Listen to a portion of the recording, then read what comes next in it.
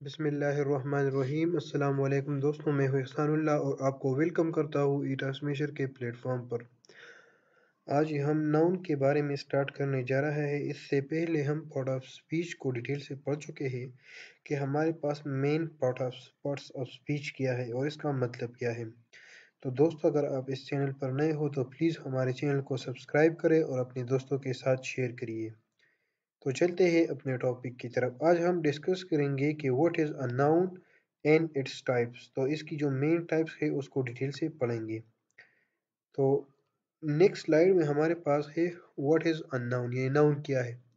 अब इसकी ड्राइवेशन क्या है? इसकी डिफिनीशन क्या है? और एग्ज़ाम्पल तो डिराइवेशन का मतलब ये है कि हमारे पास ये नाउन कहाँ से आ गया है? या इसका जो कंसेप्ट है, वो किस तरह का बना? तो the word noun is derived from the little word nomen which means name word noun जो है वो हमारे पास एहज किया गया है लिटन वर्ड से नोमिन से। नोमिन से ये बनाया गया है। और नोमिन का मतलब है नेम विच मीन्स नेम ठीक है? तो नोमिन का लफ्ज जो है उसको कन्वर्ट किया किस चीज़ में? नाउन में। तो नाउन के बेस पर ये क्या होगा? इसका मतलब नेम हो गया। अब डिफिनीशन में हम इस तरह पढ़ते हैं noun is a part of speech यानी हमारे पास नाउन क्या है? ये एक पार्ट ऑफ़ स्पीच है, जो कि रिप्रेजेंट करता है किसी शख्स प्लेस यानी जगह, या किसी चीज़, या किसी एनिमल यानी जानवर, या किसी आइडिया यानी किसी नज़रिए को और रिप्रेजेंट करता है, या किसी चीज़ को मतलब इसी तरह के, यानी पर्सन प्लेस थिंग एनिमल और आइडिया को रिप्रेजेंट करता है। ये हमारे पास एक वर्ड है जो कि इस्तेमाल होता है किसी नाम के लिए, ठीक है? या शनाहत के लिए, यानी ये शनाहत किस चीज़ का होगा? पीपल यानी लोगों का ऑब्जेक्ट अशिया का प्लेसेस जगहों का, या कंसेप्ट एक नज़रियात का इन अ सेंटेंस एक सेंटेंस में या एक स्टेटमेंट पे। यानी एक स्टेटमेंट हमारे पास लिखी गई है तो उसमें अगर हम किसी वर्ड को आइडेंटिफाई करते हैं, या किसी चीज़ को नाम देते हैं, या किसी शख्स को, अशिया को, जगहों को, या स्पेसिफिक सेंटेंस में हम इसको आइडेंटिफाई कर सकते हैं किसी नाम का। बस नाम को जब हम आइडेंटिफाई कर सकते हैं तो इसका मतलब ये है कि हम एक नाउन को डिफाइन कर सकते हैं। एग्ज़ाम्पल ऑफ़ नाउन्स हमारे पास ये है कि नाउन के मुख्तलिफ़ किस्म के एग्ज़ाम्पल है। पर्सन में हमारे पास आ सकता है फादर आ सकता है सिस्टर आ सकता है टीचर आ सकता है मदर आ सकता है ब्रदर आ सकता है एट्सेट्रा इसी तरह प्लेस में या प्लेस में पिशावर आ सकता है स्कूल फार्क इस्लामाबाद पाकिस्तान एट्सेट्रा इसी तरह थिंग्स में हमारे पास आ सकता है book table computer mouse pencil stone etcetera इसी तरह एनिमल्स में हमारे पास आ सकता है dog cat elephant buffalo goat sheeps etcetera इसी तरह idea freedom love democracy love मुख्तलिफ़ किस्म के लव या हमारे पास इस तरह मुख्तलिफ़ किस्म के ब्रदरहुड फ्रेंडशिप एट्सेट्रा ये हमारे पास सारे क्या है? ये एक नज़रियात है, ठीक है? तो ये हमारे पास नाउन में आ सकते हैं। अब पढ़ते हैं टाइप्स ऑफ़ नाउन को। हमारे पास मुख्तलिफ़ किस्म के टाइप्स ऑफ़ नाउन है, यानी मुख्तलिफ़ किस्म के नाउन्स है। Common noun proper abstract concrete collective material countable uncountable compound noun इसी तरह हमारे पास नंबर ऑफ़ नाउन में है सिंगुलर नाउन प्लूरल नाउन इसी तरह जेंडर ऑफ़ नाउन में है masculine noun feminine and common and neutral noun तो इंशाल्लाह इन तीनों को हम डिस्कस करेंगे इस वाले वीडियो में, फिर इसके बाद हम नेक्स्ट वाले वीडियो में इन तीनों को डिस्कस करेंगे और उसके बाद इंशाल्लाह नेक्स्ट वीडियो में इस तीनों को डिस्कस करेंगे और फिर अगले वाली वीडियोस दो हमारे पास इसको जो है, दो लास्ट को इसको लिहाजा पढ़ेंगे। ठीक है इंशाल्लाह, अगले मतलब ये कि इसको डिटेल से पढ़ेंगे। अब ए, एक वीडियो में और इसी इसको भी एक वीडियो में पढ़ेंगे। तो चलते हैं कॉमन नाउन की तरफ़। हमारे पास कॉमन नाउन का मतलब है ये हमारे पास एक जनरल नेम होगा जो कि दिया गया होगा। किसी चीज़ को किसी शख्स को किसी आइडिया को किसी पर्सन को किसी मुख्तलिफ़ ये कि हमारे पास ये नहीं हर हम हर शे को ये दे सकते हैं लेकिन ये जनरल होगा। जनरल का मतलब है आम नाम होगा ठीक है? जिस तरह हमारे पास है table car bag box book अब ये हमारे पास कॉमन क्यों है? क्योंकि इसमें हमने स्पेसिफिकेशन नहीं किया गया है, यानी टेबल ऑफ़ आयरन तो यहाँ पर अगर हम टेबल ऑफ़ आयरन कहते हैं तो वो टेबल जो हमारे पास आयरन से बना गया है। तो ये हमारे पास स्पेसिफिक होगा फिर। लेकिन जब हम इसको कहते हैं कि टेबल तो सिंपली ये हमारे पास, इसका मतलब ये है कि कौन सा टेबल यानी ये इस टेबल में हमारे पास लकड़ी का टेबल आ सकता है प्लास्टिक का आ सकता है आयरन का आ सकता है गोल्ड का आ सकता है।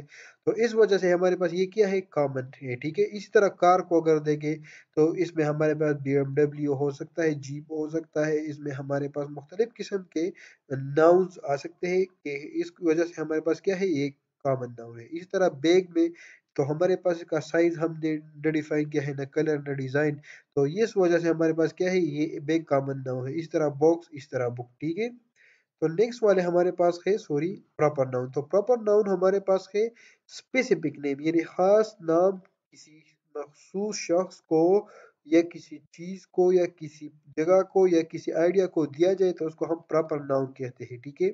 तो एग्जांपल में हमारे पास आ सकता है इस्लामाबाद। तो ये हमारे पास एक प्लेस है, जो हमारे पास स्पेसिफिक सिटी का नाम है, या जो कि हमारे पास कैपिटल ऑफ़ पाकिस्तान है, ठीक है? यानी हमारे पास ये क्या है? ये एक स्पेसिफिक जगह का नाम है, इस तरह कायद आज़म। ये हमारे पास क्या है? एक मखसूस, यानी पार्टिकुलर शख्स, यानी ख़ास शख्स का नाम है, ठीक है?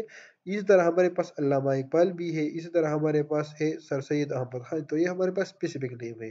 हांगकॉन्ग हमारे पास क्या है? ये एक स्पेसिफिक नेम है जो कि एडमिनिस्ट्रेटिव ऑफ़ चाइना है। इस तरह हमारे पास जुलाई है, ये स्पेसिफिक नेम है, क्योंकि मंथ में आता है मतलब मंथ के कैलेंडर में ये स्पेसिफिक नाम हो गया। इस तरह पाकिस्तान हमारे पास क्या है? ये एक स्पेसिफिक कंट्री का नाम है। तो ये हमारे पास क्या है? प्रॉपर नाउन है सारे। अब ये पॉइंट याद रखना कि कॉमन नाउन जो है, उसको इनिशियली अल्फ़ाबेट जो है, उसको हम रिटर्न कर सकते हैं in the form of capitalize यानी इसको हम कैपिटली भी लिख सकते हैं और मेन आल्सो और may not be return in the form of capitalize ये पॉइंट याद रखना, ये पॉइंट बहुत ज़रूरी है कि कॉमन नाउन जो है, वो हमारे पास ज़्यादातर जो है, उसको हम इनिशियली जो है, उसको हम स्मॉल लेटर में रिप्रेजेंट करते हैं। लेकिन ये भी हो सकता है कि इसको हम कैपिटल में भी लिखें इसका एग्जांपल ये है कि टेबल कलर इज़ रेड तो यहाँ पर टेबल हमारे पास क्या है? ये कॉमन नाउन है, लेकिन इसका जो टी इनिशियली लेटर है अल्फ़ाबेट है, उसको हमने कैपिटल में लिखा है, लेकिन ये है कॉमन नाउन अब ये स्टेटमेंट या सेंटेंस के स्ट्रक्चर पर डिपेंड करता है। अब the cat is on the table यहाँ पर देखें तो यहाँ पर टेबल का टी हमारे पास क्या है? स्मॉल है। तो ये पॉइंट याद रखना कि कॉमन नाउन इनिशियली अल्फ़ाबेट ज़्यादातर जो है, वो हम कैपिटल लेटर में नहीं लिखते। लेकिन सेंटेंस के स्ट्रक्चर को देखते हुए उसको हम ई में रिप्रेजेंट कर सकते हैं कैपिटल में लिख सकते हैं।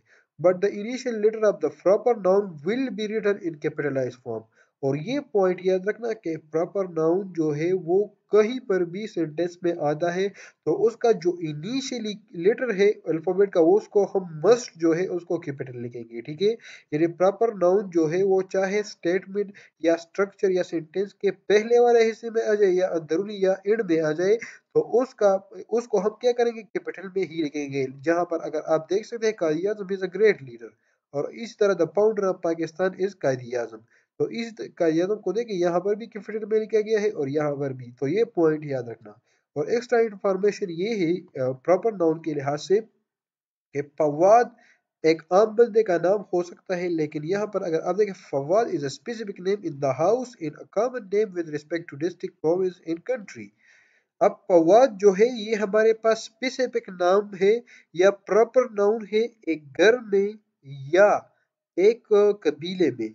लेकिन कबीले में नहीं, लेकिन एक घर में हमारे पास फवाद जो है वो स्पेसिफिक नेम होगा, उसको हम स्पेसिफिक यानी प्रॉपर नाउन कह सकते हैं। एक घर में, क्योंकि हमारे पास एक घर में दो नामों से यानी एक नाम से दो बंदे नहीं मौजूद होते, यानी मौजूद नहीं होते, ठीक है? तो ये पॉइंट याद रखना। लेकिन ये हमारे पास कॉमन नाउन है, किस चीज़ से? यानी अपने मोहल्ले के लिहाज से देखें, या डिस्ट्रिक्ट के लिहाज से, या प्रोविंस या कंट्री के लिहाज से। तो मुख्तलिफ़ किस्म के बहुत सारे पौध हमारे पास मौजूद होंगे, लेकिन एक घर में हमारे पास एक नाम से दो बंदे कभी भी मौजूद नहीं होते, ठीक है? तो यहाँ पर ये हमारे पास क्या हो गया? ये हमारे पास स्पेसिफिक हो गया घर के लिहाज से, और हमारे पास कॉमन हो गया किस चीज़ के लिहाज से?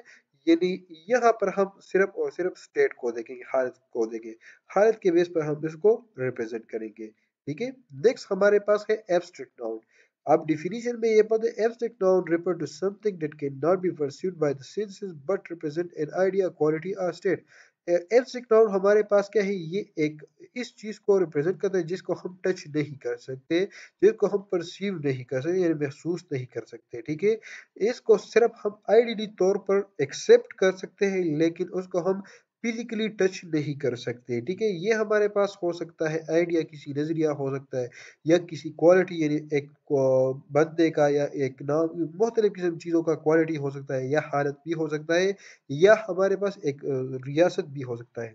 अभी इसकी मतलब ये एग्ज़ाम्पल ये है यहाँ पर लव अगर आप देखें तो उसको हम ये इमोशंस है हमारे पास, या फीलिंग है, जो कि हमारे पास टच नहीं हो सकते उसको हम टच भी सीन भी नहीं कर सकते। इसका जो असर है, वो हम देख सकते हैं, लेकिन लव जो है उसको हम असल में देख नहीं सकते। इस तरह फ्रीडम में अगर आप देखें तो आज़ादी उसको हम बना सकते हैं, उस पर अमल कर सकते हैं, लेकिन उसको फिजिकली देख नहीं सकते और न टच कर सकते। इस तरह हॉनेस्टी को देखें तो हॉनेस्टी को हम ये कह सकते हैं कि एक बंदा ईमानदार है, लेकिन इसकी जो ईमानदारी है, उसको फिजिकली हम रिप्रेजेंट नहीं कर सकते और न टच कर सकते। इस तरह लीडरशिप और इसी तरह ब्यूटी भी।